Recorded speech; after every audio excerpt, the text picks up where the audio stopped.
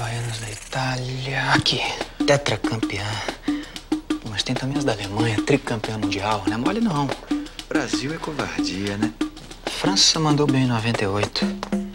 Uruguai levou duas. Tem história. Muito difícil. Qual escolho? Ah, vai com a vermelhinha, pra combinar com a camiseta. Olha que é bonitinho. Pronto. Vambora.